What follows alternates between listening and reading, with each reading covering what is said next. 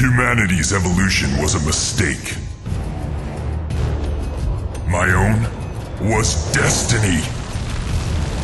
I will reclaim this earth from all who stand in my way. Surrender a world that by rights belongs to me. I, who can control even the strongest minds and channel primal rage. Never! I will alter the flow of evolution and remake the world in my own likeness.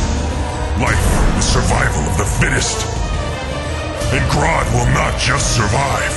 He will triumph!